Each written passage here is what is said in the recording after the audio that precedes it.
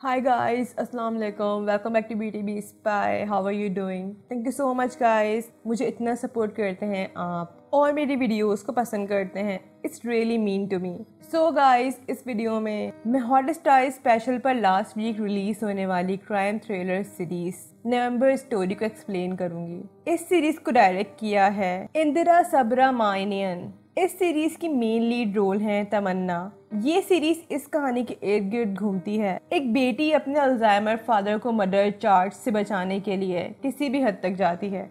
इस वीडियो में वो सारी चीज़ें हैं, जिससे आप लोगों को ये सीरीज़ इजीली समझ आ जाएगी। और गाइस इस वीडियो में स्पॉयलर्स हैं। November story Hotstar specials पर रिलीज़ हुई 20 मई 2021 में। आई पर नवंबर स्टोरी को मिले हैं 8.3 स्टार्स आउट ऑफ़ 10 गाइस अगर आपने ब्यूटी बी स्पाई को अभी तक सब्सक्राइब नहीं किया तो इसे ज़रूर सब्सक्राइब कर लें। और साथ में बेल आइकन भी ज़रूर प्रेस कर दिएगा, ताकि मेरी न्यू वीडियो आने की अपडेट आपको मिल जाए। Okay guys let's start explain this series series की बिगनिंग होती है एक कंप्यूटर एक्सपर्ट अनु गणेश से। अनु अपने पुराने घर को बेचना चाहती थी, लेकिन अनु के पापा गणेश वो घर बेचना नहीं चाहते थे। उस घर को बेचने की ये वजह थी कि गणेश को अल्जाइमर था। अल्जाइमर एक ऐसी बीमारी है जिसमें पेशेंट वक्त के साथ साथ सब कुछ भूलता जाता है। अनु को घर बेचकर पैसे चाहिए थे गणेश की ट्रीटमेंट के लिए। सडनली अनु के पास उसके फ्रेंड मल्लर का टैक्स आता है कि उनके ऑफ़िस के सारे कंप्यूटर हैक्स हो गए हैं और डेटा रिट्रीव नहीं हो रहा। एक्चुअली अनु अपने फ्रेंड के ऑफ़िस के सॉफ्टवेयर और साइबर सिक्योरिटीज को चेक करती थी। मैं यहाँ बताती चलूँ कि इस ऑफ़िस में ऑनलाइन एफआईआर सबमिट होने का काम होता था। अनु चेक करती है मेन नेटवर्क एरिया में। वहाँ अनु को एक डिवाइस मिलती है, जिसकी वजह से कंप्यूटर्स आराम से हैक हो सकते थे। अब सवाल ये बन रहा था कि वो कौन होगा जिसने ये सब किया। खैर सीसीटीवी कैमरा फुटेज भी हैक हो चुकी थी। इसीलिए ये किसने किया था, इस बात का मालूम करना थोड़ा मुश्किल था। दूसरी तरफ़ अनु अपने पापा की तरफ़ से परेशान थी, क्योंकि उनकी हालत दिन ब दिन बिगड़ती जा रही थी, और उसे किसी भी तरह अपना घर बेचना था। रोज़ाना की तादाद में ब्रोकर्स लोगों को अनु का घर दिखाते थे। ऑफ़िस में सारा डेटा हैक पड़ा था, और मल्लर पर पुलिस ऑफिसर्स का प्रेशर था। इसीलिए अनु अपने घर बेचने के सिलसिले से बाहर आती है, और डेटा रिट्रीव करने में कामयाब हो जाती है। यहाँ अनु को मालूम चलता है कि सारा डेटा रिट्रीव हो गया है, लेकिन एक फोल्डर हैक है और वो फोल्डर 16 नवंबर 1995 का था। अब अनु को जानना था कि इस फोल्डर में ऐसी कौन सी एफआईआर है जो हैकर को चाहिए। खैर, अनु ट्रेन से अपने घर जा रही होती है। उस ट्रेन में उसे एक औरत और एक मेंटली इल टीन एज लड़की मिलती है। घर जाकर अनु को मालूम चलता है कि गणेश घर से गायब है। अनु परेशान होती है, लेकिन अनु को याद आता है कि कुछ दिन पहले एक स्त्री वाले ने उसे बताया था कि गणेश हर साल 16 नवंबर को अपने पुराने घर जाता था। अनु को ये बात याद आती है और वो अपने पुराने घर जाती है। वहाँ वो ये देखकर शौक थी कि घर में खून में लथपथ लाश थी और गणेश लाश के पास बेहोश पड़ा था। अनु बहुत डर जाती है, क्योंकि जिस औरत की लाश ज़मीन पे पड़ी थी, वो औरत उसे कुछ घंटों पहले ही ट्रेन में मिली थी। सुबह पुलिस उस क्राइम की जगह आ जाती है और अनु से स्टेटमेंट लिया जाता है। स्टेटमेंट के बाद हम ऑडियंस को डेड बॉडी दिखाई जाती है। लाश पर पूरा पेंट ही पेंट था, जिसकी वजह से फिंगरप्रिंट्स मिलना मुश्किल थे और घर को हर दिन इतने लोग विज़िट करते थे, जिसकी वजह से किलर के फिंगरप्रिंट्स मिलना मुश्किल था। अनु मल्लर और उनकी मेड जो गणेश की टेक केयर करती थी, अनु उन्हें बताती है कि पेंट अनु ने ही उस बॉडी पर डाला था। जिसकी वजह से अगर मर्डर गणेश ने किया होगा तो पेंट क्लीन करते वक्त फिंगरप्रिंट्स बॉडी से हट जाएँगे। आपके माइंड में ये सवाल आ रहा होगा कि अनु इतनी स्मार्ट कैसे थी? वो इसलिए क्योंकि गणेश एक बेस्ट क्राइम थ्रिलर नॉवलिस्ट था। उसी के नॉवल से अनु ने ये आइडिया निकाला था।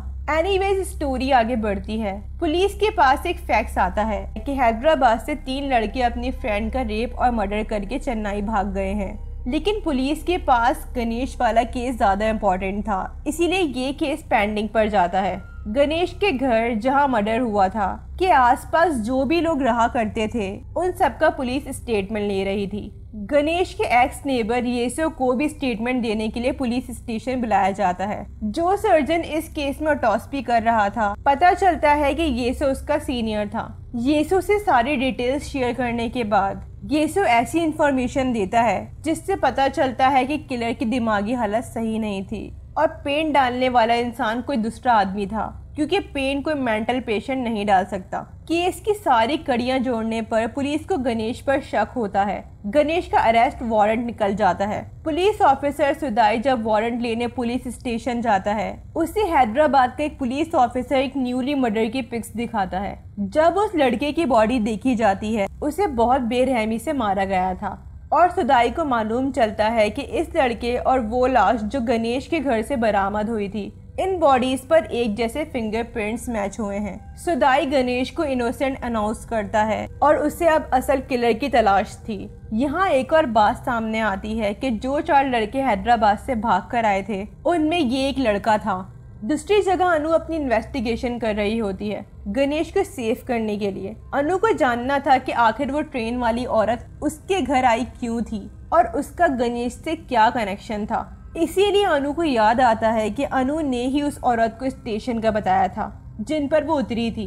अनु ट्रेन स्टेशन के पास ही कॉफ़ी शॉप के सीसीटीवी कैमरा हैक करती है और उसे पता चलता है कि वो औरत उस मेंटली इल लड़की के साथ, उन्हीं चार लड़कों के साथ कार में बैठकर कहीं गई थी। दूसरी जगह मल्लर ऑफ़िस के सीसीटीवी कैमरा में देखता है कि उन्हीं तीन लड़कों में से एक लड़के ने डिवाइस नेटवर्क एरिया में लगाई थी। सुदाई को भी अब येसु पर शक पैदा होता है, क्योंकि उसे अटोस्पी सर्जन बताता है कि येसु की एक बेटी है और वो मेंटली एल है। सुदाई को येसु पर इसलिए भी शक हो रहा था, क्योंकि उसने अपने स्टेटमेंट में अपनी बेटी का ज़िक्र नहीं किया था। और उसने ये नहीं बताया था कि जिस औरत की डेथ हुई है, वो उसे जानता था, क्योंकि येसु ने उस औरत के इंश्योरेंस के पैसे के हवाले से मदद की थी। और उसने खुद सुदाई को इस केस में हेल्प करने के लिए कहा था। इस बात का मैं बाद में डिटेल में आंसर दूँगी। खैर, उन तीनों लड़कों में से एक लड़का सुदाई को मिल जाता है। मल्लर और उसका एक साइबर एक्सपर्ट फ्रेंड हैकर की लोकेशन मालूम कर लेते हैं। अनु और मल्लर पहुँचते हैं उनसे पूछने। वहाँ दो लड़के मौजूद होते हैं। स्टोरी फ्लैशबैक में जाती है। ये चार दोस्त, मथी, संदीप और अहमद, और उनकी फ्रेंड नीति मेडिकल स्टूडेंट्स होते हैं। एक दिन उनकी यूनिवर्सिटी में सेमिनार होता है और उस सेमिनार के चीफ गेस्ट येसु और वो अपनी मेंटली इल बेटी मदी के साथ वहाँ आया था। निति मदी से काफ़ी इम्प्रेस थी और वो अपने आईडी कार्ड से मदी के साथ खेल रही होती है। इसी चक्कर में उसका आईडी कार्ड मदी के पास रह जाता है और वो अपना आईडी कार्ड लेने के लिए येसु के घर जाती है। वहाँ उसे मालूम चलता है कि मदी के साथ कुछ बुरा हो रहा है। मदी की मेड बीनू अब नीति के साथ मिलकर पता लगा रही थी कि आखिर मैटर क्या है। उन्हें मालूम चलता है कि मदी बचपन से पागल नहीं थी, बल्कि येसु उसे दिमागी मरीज़ बना रहा था। गलत मेडिसिन देकर। एक दिन बीनू येसु से बोलती है कि उसे मैडी को किसी डॉक्टर को दिखाना चाहिए। येसु को ख्याल आता है कि बीनू ने कभी ऐसे सवाल नहीं किया उससे। इसका मतलब है कि कोई है जो बीनू को ये सब बता रहा है। उसे मालूम चल जाता है कि वो कौन हो सकता है। इसीलिए नेक्स्ट डे खबर आती है कि नीति ने सुसाइड कर ली है और नीति की अटोस्पी रिपोर्ट में यह मेंशन कर देता है सुसाइड कमिटेड इन तीनों दोस्तों को जब इस बात का पता चलता है और वो येसो से मदी को बचाना चाहते थे इसमें उन लड़कों का साथ बीनो ने दिया। इसीलिए अनु को मदी और बीनो ट्रेन में मिले थे। क्योंकि वो इन तीनों लड़कों के साथ जा रहे थे। इन तीनों में से संदीप ने अनु के ऑफ़िस को हैक किया, क्योंकि उसे मदी के घर का एड्रेस चाहिए था। और 16 नवंबर 1995 के एफआईआर से मदी के घर का एड्रेस मिल सकता था। आई नो आप लोगों के माइंड में बहुत सारे क्वेश्चन आ रहे होंगे कि मदी और एफआईआर का क्या कनेक्शन है।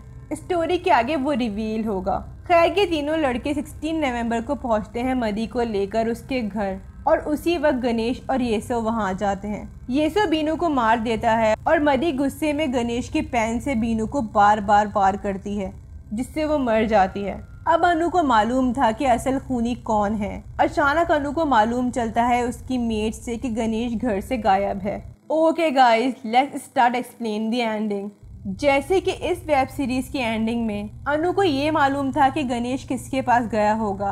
लेकिन ये नहीं मालूम था कि वो कहाँ गया होगा। गणेश ने अपने याद रखने के लिए यसु का एड्रेस वॉल पर लिखा था। अनु उस एड्रेस पर पहुँचती है, वहाँ यसु ने गणेश को कैद किया हुआ था। यसु यहाँ रिवील करता है कि 16 नवंबर 1995 को आखिर क्या हुआ था। सीरीज़ फिर एक बार फ्लैशबैक में जाती है। बारिश की रात थी और एक बस एक्सीडेंट होता है। उस एक्सीडेंट पे बहुत सारे लोग मारे जाते हैं और उन लोगों का टॉस भी ऐसे को करना था। काम खत्म करने के बाद सब वर्कर्स वेडिंग अटेंड करने जाते हैं। लेकिन येसो अपनी रिपोर्ट रेडी करने में लग जाता है। अचानक चार लोग एक बॉडी लेकर आते हैं। उनका कहना था कि ये भी उसी बस एक्सीडेंट विक्टिम है। येसु जब अटोस्पी करना शुरू होता है सडनली वो औरत जाग जाती है और वो प्रेग्नेंट भी थी। खून बहुत बह चुका था। इसी वजह से येसु को ऑपरेशन करना पड़ता है, जो उसने कभी नहीं किया था। खैर एक लड़की पैदा होती है येसु की नीयत खराब होती है और वो उस औरत को मरने देता है, ताकि ये लड़की येसु अपने पास रख सके। एक्चुअली ये औरत गणेश की वाइफ और अनु की मदर थी। गणेश जब येसु से पूछता है तो येसु का कहना था कि उसकी वाइफ और बेटी दोनों मारे गए। इस तरह मदी को येसु अपने साथ ले गया और तीन या चार साल बाद गलत मेडिसिन दे के वो उसको मेंटली इल कर रहा था। ताकि मदी हमेशा यसो के साथ रहे। यसु गणेश को इंजेक्शन देकर मारना चाहता था, लेकिन अनु पावर सप्लाई ऑफ़ कर देती है और यसु को इंजेक्शन लगा देती है, जिससे यसु 10 मिनट के अंदर मर जाएगा। खैर, अनु मदी और गणेश को यसु से रेस्क्यू कर लेती है। यसु और गणेश मर जाते हैं। सीरीज़ की एंडिंग सीन में बदी अब थोड़ा ठीक हो गई थी। और गणेश की last novel November story publish हो गई थी। इस नॉवल के चैप्टर्स के नेम इस वेब सीरीज़ के एपिसोड के नेम्स पर रखे गए हैं। लेकिन उस नॉवल में लास्ट चैप्टर का नाम एन अनसेंड लेटर था। ये वही लेटर था जो नन ने यसो के नाम पर लिखा था। यसो ने मर्डर किया था तो उसने पुलिस की हेल्प क्यों की थी? यसो का इरादा नेक नहीं था। अब यसु को मदी चाहिए थी और ये मर्डर उसने जानबूझ के किया था। यसु ने पुलिस की हेल्प इसीलिए की क्योंकि वो चाहता था कि गणेश और अनु पकड़े जाएँ, ताकि वो मदी को हमेशा अपने पास मोहताज रखे। तभी यसु ने बड़ी चलाकी से वही इन्फो दी, जो गणेश से मैच होती थी, ताकि पुलिस उसे पकड़ ले। यसु के साथ क्या मसला था? यसु की कहानी यहाँ से शुरू होती है। यसु की माँ उसके पैदा होने के साथ ही मर गई, और यसु को एक नन और एक सर्जन ने अपने पास और फ्रेंड में पाला, लेकिन एक फैमिली ने यसु को अडॉप्ट कर लिया, और यसु नन से दूर हो गया। उस फैमिली ने यसो को खुश रखने की कोशिश की, लेकिन यसो नन के गम में इतना मुबतला था, होता भी क्यों नहीं, आखिर उन्होंने उसे बड़ा किया था। खैर, यसो जब तेरह साल का हुआ तो उस नन की डेथ हो गई और उन्होंने यसो के लिए एक लेटर छोड़ा और साथ ही साथ एक नोटबुक, जिसमें वो अपनी सर्जरी स्केचेस करती थी। यसो जब यंग हो जाता है, उसका एडमिशन होता है एक मेडिकल कॉलेज में, जहाँ वो हर साल टॉप पर आता था। वो बहुत मेहनती था। कॉलेज ख़त्म होने के बाद उसका नेम जर्नल सर्जन में आता है।